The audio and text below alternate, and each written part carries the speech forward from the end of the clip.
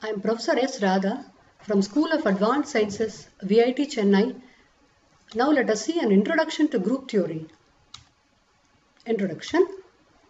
In abstract algebra, group theory studies the algebraic structures known as group. Other algebraic structures such as rings, fields and vector spaces can also be seen as groups but endowed with some additional operations and axioms. Applications of group theory. The group theory and the very closely related representation theory have many important applications in physics and chemistry. In physics, groups describe the symmetries and in chemistry, groups are used to classify crystal structures and symmetries of molecules.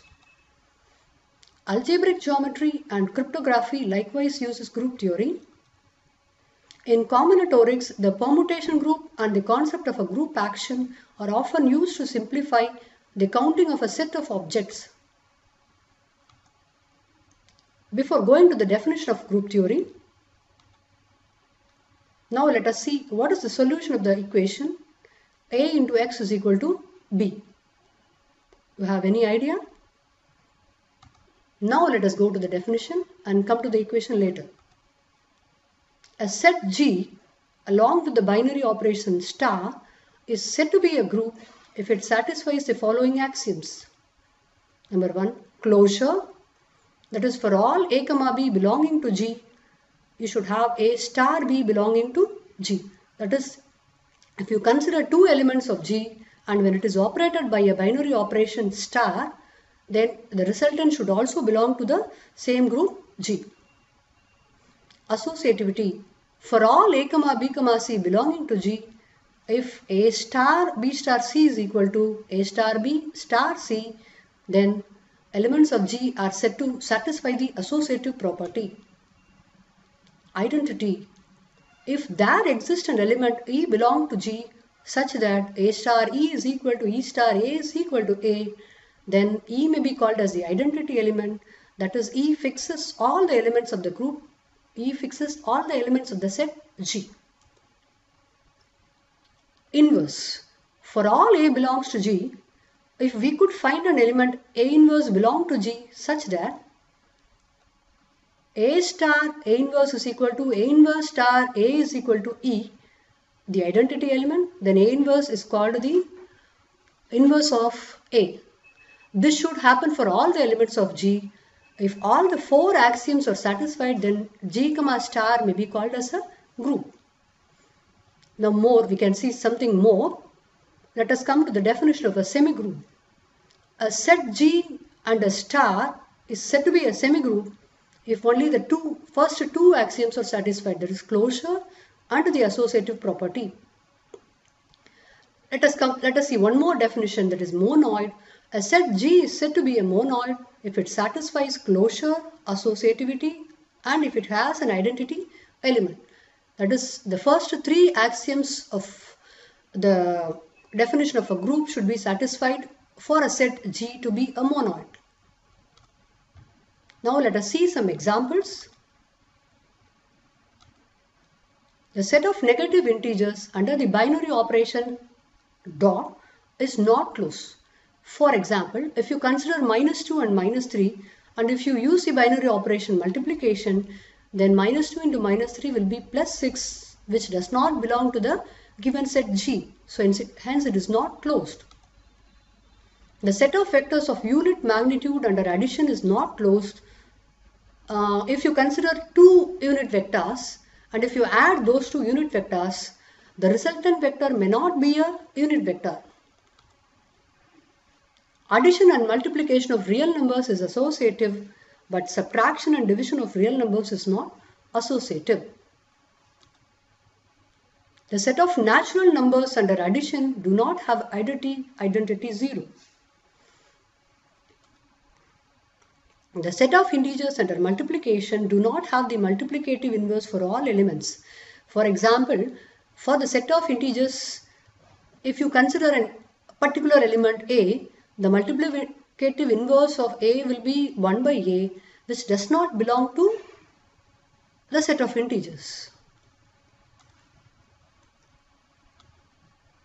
Now we are again back to the equation what we have seen it earlier a star x is equal to b. Pre-multiplying by a inverse on both sides we have a inverse into a dot x is equal to a inverse into b. Again we are using the associative property now by clubbing a inverse into a together. We have e dot x is equal to a inverse into b. Now here comes the identity. As we know a inverse into a is the identity. Again we are using the closure property and we are writing x is equal to a inverse into b. So for solving a equation we are using all the four axioms of the group.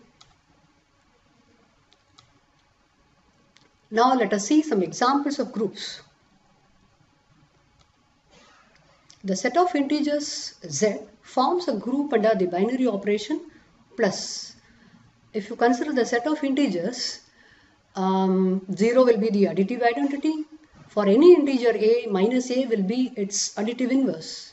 More or less addition of two integers is always be an integer and uh, integers always are associative. The set of non-zero rational numbers forms a group under multiplication. Uh, for example, if you consider any rational number, um, multiplicative identity will be 1 and for any rational number a, 1 by a will be its multiplicative inverse. The set of all n by n matrices under matrix multiplication and addition always forms a group. Now let us see another type of group, one specialized group called the abelian group.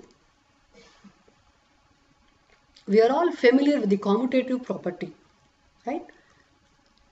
Definition, a group G comma star may be called as an abelian group if it satisfies the commutative property. That is, for all A comma B belonging to G, you should have the property A star B is equal to B star A. If this is satisfied, then you can say the group G is commutative, sorry, the group G is abelian under the operation star. Usually we can say the usual multiplication and addition are always commutative operators. Now examples of some abelian groups. The set of integers under the operation plus is always abelian. The set of all matrices that is n by n matrices under the operation plus is always an abelian group. But one thing to be noted, if you go to the set of all n by n matrices and if you are having the operation as matrix multiplication, then it may not be an abelian group as we know very well that matrix multiplication is not at all commutative. Let us continue again. Let us meet again with some more specialized groups. Thank you.